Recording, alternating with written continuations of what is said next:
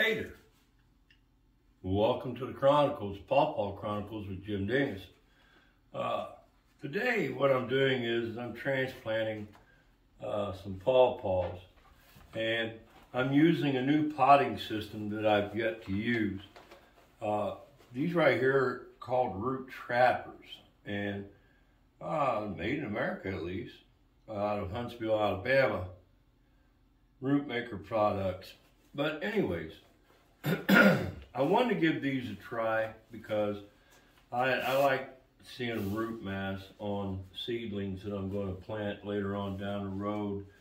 Now, uh, I guess the concept behind it is you see the material in there. It's like a felt.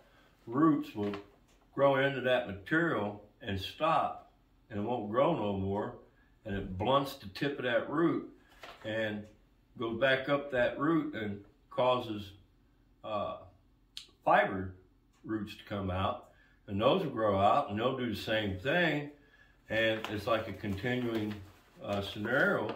And what happens is that root gets bound up in there. You know, years ago, uh, I had bought some crabapple trees. They were in a system pretty much like this, and whenever it came time for me to plant those crab apples, uh, I couldn't get them off the bags. I ended up actually cutting the bag off, and but when I cut that bag off and peeled it off there, man, the root fibers in that tree, uh, they, they were really, really good root fibers in that tree, and I thought, man, that's pretty slick. Too bad you can't reuse them because, well, I've ordered these, they're a little bit on the expensive side. But I did a water test uh, with one of these. Uh, I was upstairs and got to the kitchen sink and I filled it up with water to see what would happen. And water seeped out the side of the bag. Uh, kind of puts you in mind of a, a, cold can of pop sweating is what it kind of puts you in mind of. Uh, but the water just leached out through the bag. So that tells me in itself I wonder. Yeah, I can see through there. I can see the light through that. So it's got airflow.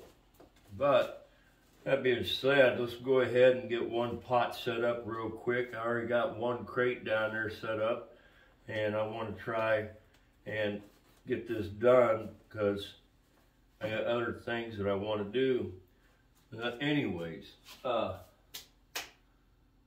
as you all know, that follow me, I've been growing pawpaws for quite some time now. But pawpaws aren't the only trees that I grow. And last year, as you all may know, I had decided to try a different style pot, these right here, and see if I couldn't get pawpaws to grow good in them. However, some something that I've seen in these pots that I wasn't really, really crazy about is water. It retains water right in here. There's a big hole in the bottom of the pot and there's holes on the side. You would think the water would continue to drain, and it drains through, but it holds moisture, oh, probably from here down. Moisture is held in there, and what ends up happening is, is you know, although the pawpaw likes damp soil, they like good drainage.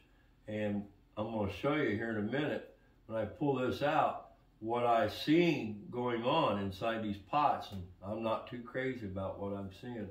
But anyways, that being said, let's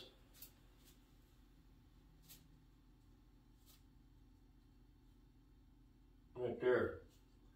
All the dirt didn't come out. And like I said, the tree is still alive, but you can see right here, that root rotted down in the bottom there, but the tree is still alive. It's green. The bud on it is green. It's trying to wake up. Let's try to get these to live. I mean, I'm not real, like I said, I'm not real crazy about what I'm seeing out of them little pots. And uh,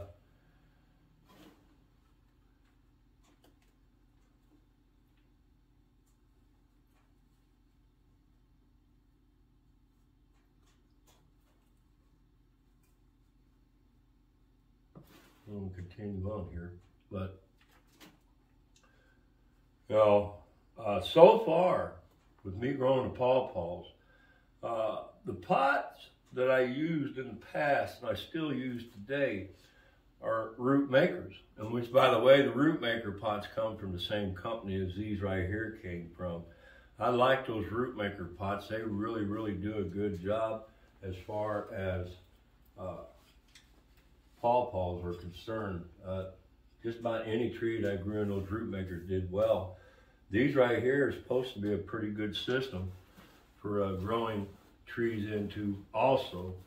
But we're going to find out how they do later on down the road. Now these are going to end up being uh, remaining in those pots uh, probably a couple years. And when they get big enough, I'll graft them while they're in those pots. Now later on down the road, I may decide to take them out of those pots and put them in a RootMaker pot. Let me show you one right here. and I'll probably put some into, and once I start getting root mass, there's a three gallon pot right there, and that is a RootMaker pot. And it's got little lids in there, and these are a really good pot. But I've been using one gallon ones. This one here's a three gallon. Uh, once those take off, uh, I give them, like I said, a couple of years. I'm to transplant some of them in these pots right here because I have a suspicion once they do take off in there and I get a lot of root mass going on, when I transplant that into one of them pots, that root mass is going to really take off inside of one of them pots and then we'll see what happens. And, you know, some trees, uh, when I graft, I like to graft uh, more than one piece of scion. You know, it'd be nice to grow one up about yay high with some branching on it and I can top work at and convert the entire tree over. That's just something that I enjoy doing.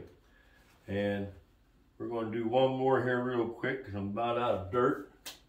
Let's see, find one here. It's got some green going on with it.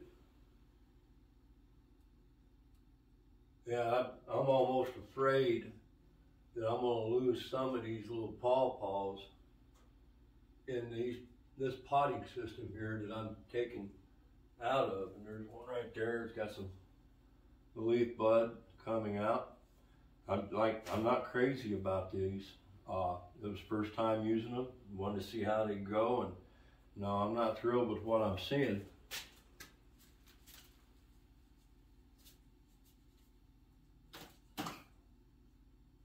That there's got a little bit more root.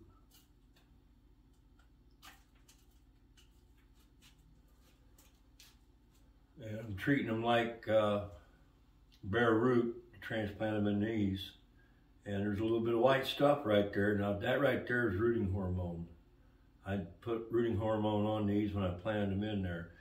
So we're gonna go ahead and top this bag off.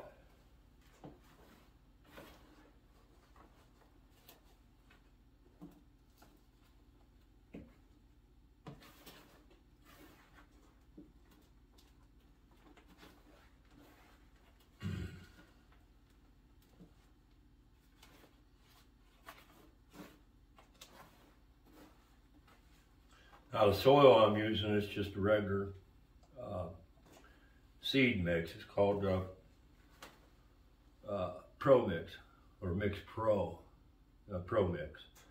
It don't have a whole lot of stuff in it uh, as far as nutrients and everything, but it's got probably got some enzymes in there to help out a little bit. And set that off to the side. These little trays I made will hold eight of them real good. anyways, just something I wanted to share with you. I got to mix up some more dirt. That Pro Mix is dry and I got to mix it, make it wet. But hey, my name's Jim. If you like what you see, subscribe. Any comments or questions that you may have, I welcome. Y'all have a God bless day.